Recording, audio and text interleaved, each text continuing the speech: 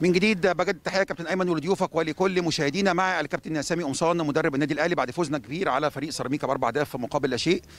مباراة صعبة جدا من قبل بداية المباراة. مباراة كله كان متخوف منها. فريق سيراميكا فريق كبير مع مدير فني عائد بعد تركه للفريق وعارف كل صغيره وكبيره عن الفريق.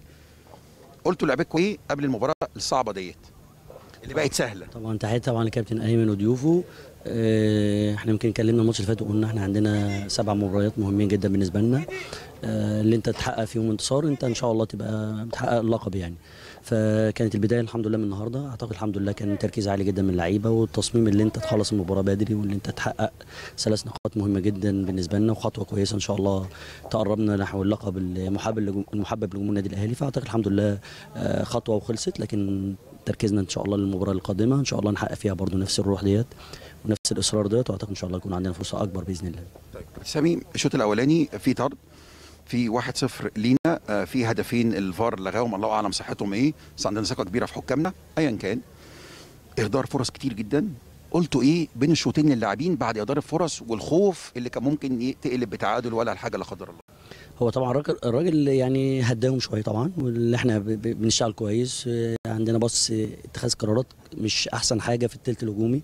لازم نبقى هدى لازم نستغل الزيادة العددية. واعتقد الحمد لله ال- اللعيبة استغلت ال- الطرد دوت بشكل كويس وأعتقد الحمد لله القرارات كانت كويسة برضو نفس القصة. لكن إن أنت توصل دي حاجة إيجابية طبعا كده كده النهارده آه شريف النهارده مثلا بيضيع لكن برضو شريف ما شاء الله عنده رصيد كبير جدا يعني. النهارده الحمد لله برضو سجل هدف ودي حاجة من الحاجات الإيجابية. النهارده جونيور الحمد لله برجوع برضو حاجة من الحاجات الإيجابيات سعد نفس القصة. وحيد اللي بيشارك ب- على فترات الحمد لله برضو أداء مميز نفس القصة. فأعتقد الحمد لله بواليا برضو نفس القصة ومروان. أعتقد برضو كانوا محتاجين ال- الدقائق ديت عشان برضو ترجع تاخد حساسيه المباراه وترجع يبقى عندك دافع اللي أنت آه، لو ما تشارك في أي وقت تبقى تشارك بشكل كويس. فأعتقد الحمد لله أداء مرضي بالنسبة لنا ونتيجة مرضية بالنسبة لنا. لكن زي ما قلت محطة وخلصت ومباراة وخلصت لكن ست مباريات مهمة بالنسبة لنا. إن شاء الله نبدأ التركيز للماتش الإسماعيلي إن شاء الله. الكل قال لك آه، أكرم هيكون موجود في مركز ال- ال- ال back right آه، الشناوي ممكن يكون موجود. فاجئتونا كل- آه، كل كل الناس أو ال social media اتفاجئت إن بيبدأ هاني ثقة كبيرة من الجهاز الفني في هاني وما شاء الله النهارده بيقدم مردود ولا أروع ولا أجمل. ما تنساش ان هاني طبعا من اللعيبة الأساسية بالنسبة لنا ولعيب منتخب مصر. لعيب منتخب مصر ولعيب ادى أداء كويس جدا معانا في فترات كبيرة يعني.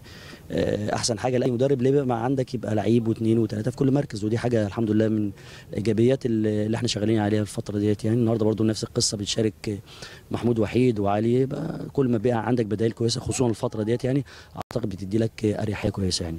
أكرم لعيب مميز جدا آه، شفناه في الأولمبياد برضو الحمد لله أدى أداء كويس لعب كل المباريات كان مهم جدا برضو اللي ياخد راحة عشان عندنا ضغط مباريات لأن هنلعب برضو كل ثلاث أيام فمهم جدا اللي هو ياخد راحته كويس وإن شاء الله يبدأ بقى الماتش الجاي يبدأ ينافس هاني ويبدأ منافسة كبيرة بين اللعيبة والأجهزة طبعا واللي الراجل شايفه مناسب للمباراة أعتقد إن شاء الله يقدم أداء كويس إن شاء الله. بنشوف النهارده سعد سمير بنشوف محمود وحيد بنشوف هاني في مركز ال- ال back right بنشوف اجاييه بنشوف لعيبة كتيرة آه، مروان بواليا ال rotation ما شاء الله بتعملوه ولا أروع ولا أجمل.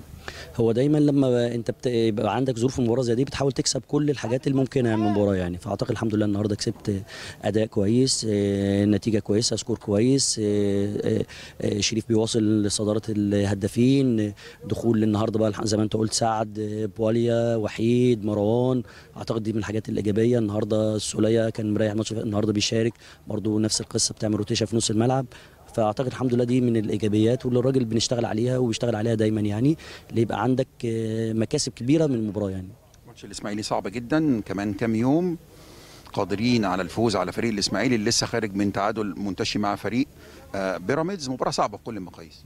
كل المباريات صعبة مفيش مباراة. إحنا بنحترم كل الفرق. آه، نادي الاسماعيلي من آه، فرق كبيرة جدا في الدوري الممتاز. عندهم مدرب مميز عندهم لعيبة عندهم آه، لعيبة مميزة جدا في كل المراكز. لكن يبقى البطل اللي هو أعتقد يعني اللي هو ما يعني طول ما أنت مركز وطول ما أنت عندك دوافع وطول ما أنت عندك إصرار إن أنت تحسم المباراه أعتقد الحمد لله إن إحنا عندنا ثقة كبيرة جدا في لعبتنا. وإن شاء الله زي ما عودنا جمهورنا اللي إحنا دايما إن شاء الله ما, نغزلهمش ابدا. إن شاء الله تكون الماتش الجاي برضو ثلاث نقاط مهمة جدا بالنسبة لنا.